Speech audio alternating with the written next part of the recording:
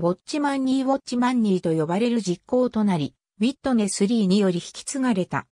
2位は家の教会の実行者であり地方飯会の実行者ではないと主張する信者もいるが、2位の複数の著書に地方飯会の実行についてのメッセージが残されていることから、この主張は完全な誤りであると判断される。ありがとうございます。